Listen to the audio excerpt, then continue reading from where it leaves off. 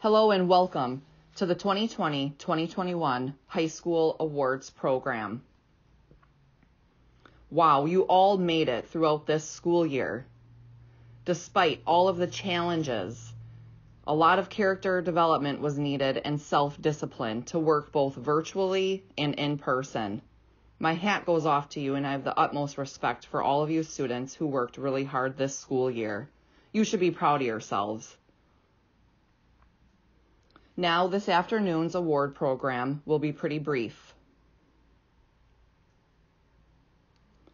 Starting with academic awards.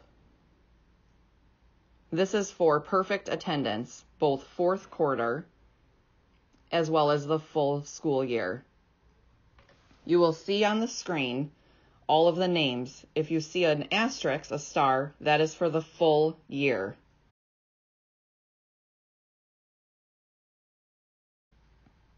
Congratulations to all of you who had perfect attendance. Whether it was virtually or in person, you showed up. Great job. Very proud of all of you. Next is honor roll for fourth quarter and for the full year. Just like before, as I mentioned, if you see the asterisk, that is for the full year. If you don't, then that is for fourth quarter only.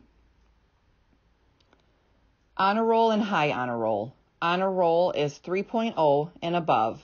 High honor roll is 3.5 and above. Congratulations.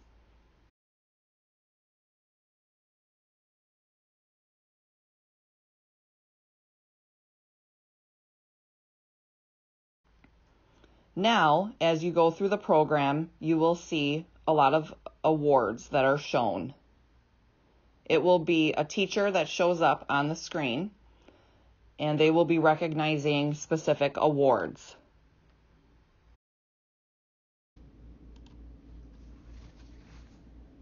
Hi, I'm Susan DePore. I'm here to announce to you the winners for the National 2021 Marie Jean Phillips Art Contest. I'd like to extend a thank you to Becky Eppel for her help, as well as Carla Gunn, who helped coordinate the competition. Last winter, all of you students participated in the competition and they chose first, second, and third place. Those who were first place were sent off in a contest against other deaf programs and schools for the deaf. Recently, they announced the winners. I am very proud to say we have two winners from our school. The first one to recognize is for category special art, ages 13 to 18. This student won first place. Wow. And it goes to Michaela Weaver. Congratulations. The next category is age 13 to 18. This is a student who got first place all throughout the nation. Very proud to an- announce that the winner is Nevaeh Benning. Congratulations to the two of you. You guys have made us proud. Good luck and we look forward to seeing you next year in 2022 for the new art competition and storytelling and poetry contest. Thank you.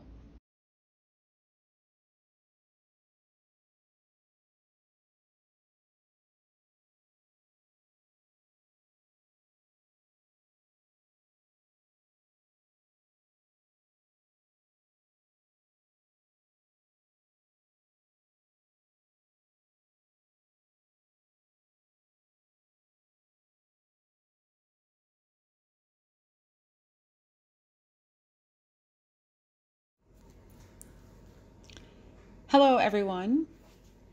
My name is Becky Eppel. I am the National Honor Society sponsor here at Wisconsin School for the Deaf. I wanted to take a moment and describe a little bit about the National Honor Society. This year, we are celebrating the 100 year anniversary. The organization was established in 1921 and has been going ever since. It recognizes academic achievement, and it's the only organization in this nation that does so. It is an extremely high honor. This year, we have a large group of students. We have six seniors and five other students all participating. So, congratulations to all of them. I want to talk a little bit about what is involved in the National Honor Society. First of all, you have to be able to qualify. You have to have three semesters of academic success achievements. That's the first qualification. You have to show leadership, good characteristics, and community service.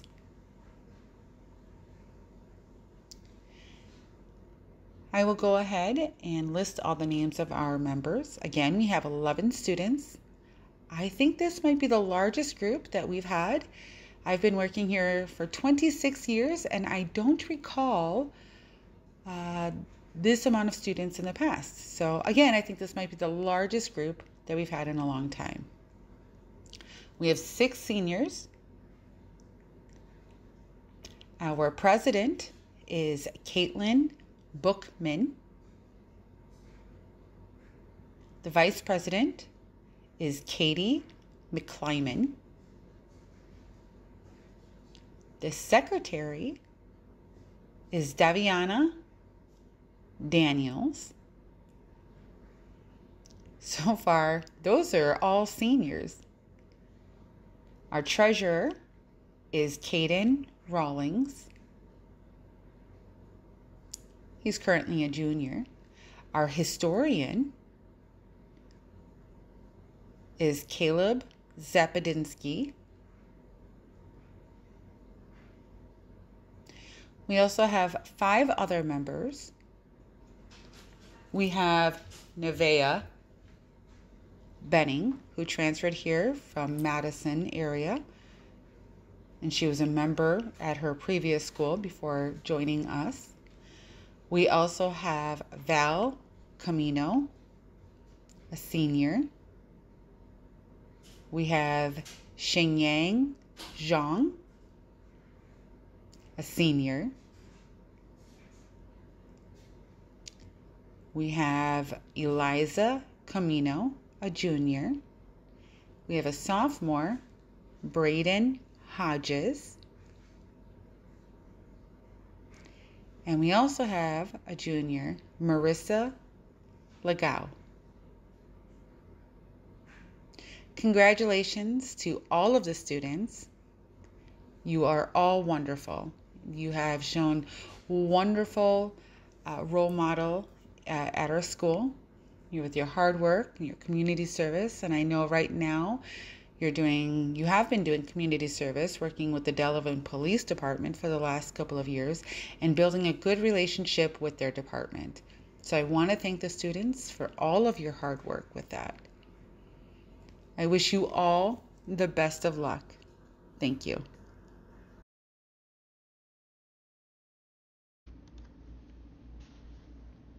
Hello. My name is Karen Turscany Lopez. I am the sponsor for the Science Club. We had a wonderful school year. We developed our vision of what we wanted for the Science Club.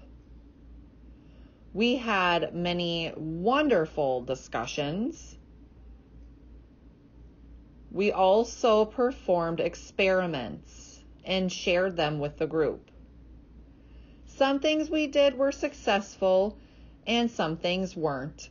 But regardless, what's most important is that we learned from our experiences.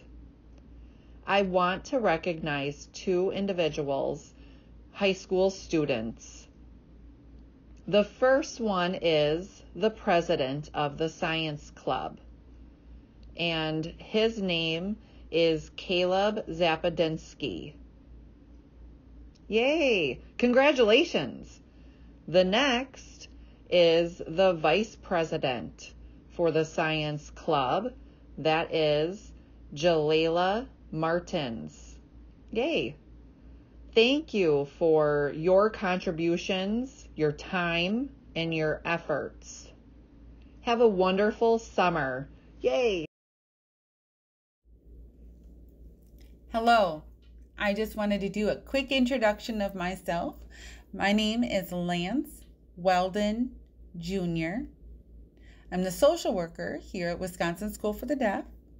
In the slides I'll be presenting, we'll be naming the students who have completed all of their community service credits in volunteering to the community. You guys have done such a wonderful job. I'm excited to recognize these students in the upcoming slides. And please share with in, in complimenting them and congratulating them. In order to meet the community service hours, they had to have 32 hours. Obviously, the more the better. They would have to verify through documentation, and sometimes I would have to double check.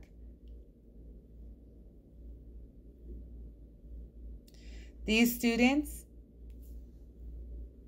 uh, follow the guidelines that we give for community service hours. The students who have done more than 32 hours of community service will receive a gray cord for graduation to honor and respect them for all of their hard work and giving back to the community. Again, these students in front of us, congratulations.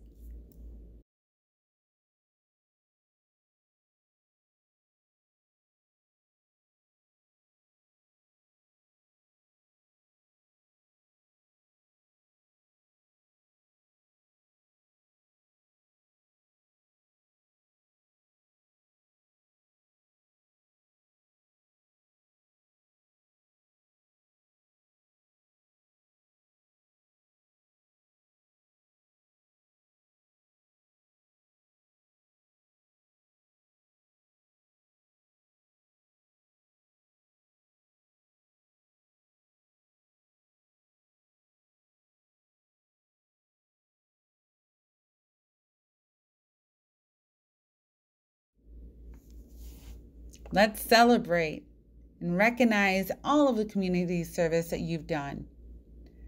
Again, to all of you guys, congratulations and the best of luck to your future. I am excited to hear from you guys again soon. Don't let it be too long. Congratulations.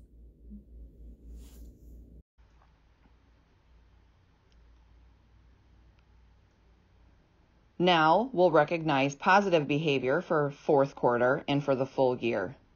As you see the students' names, you can see there's a lot of students who earned this. They all showed the Firebird promise responsible, respect, safety, and caring.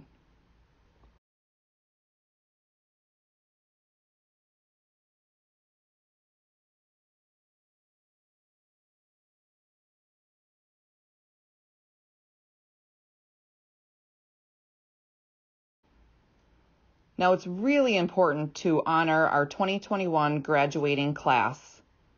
It was announced by email previously to the school year end. This program is shown after graduation, but it's still important to honor and recognize our students from the class of 2021, as well as the salutatorian, which was Caitlin Bookman. Congratulations, Caitlin.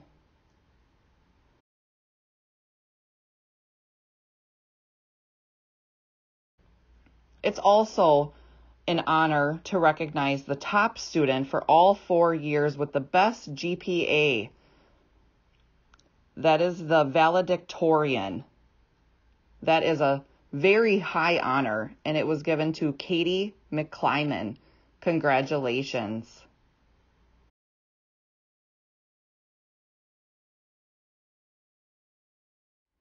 Now, in closing of the awards program, I want to wish you all a great summer. Stay cool, stay safe, read a lot of books, and I'm excited to see you back on campus this fall. Farewell.